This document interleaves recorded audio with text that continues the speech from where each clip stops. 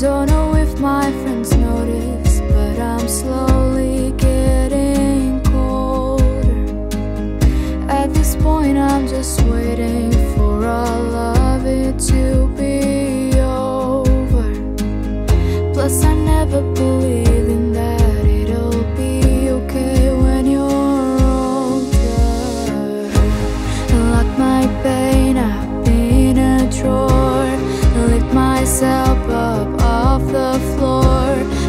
I should feel alive by now.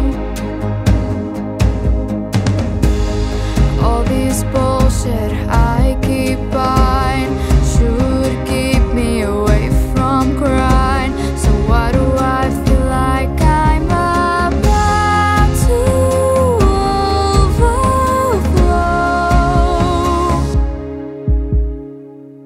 Used to run a breakout I started to feel tired.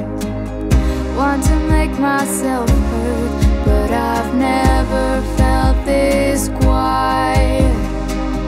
Never been so unsure About if I have what's required. I can put myself first now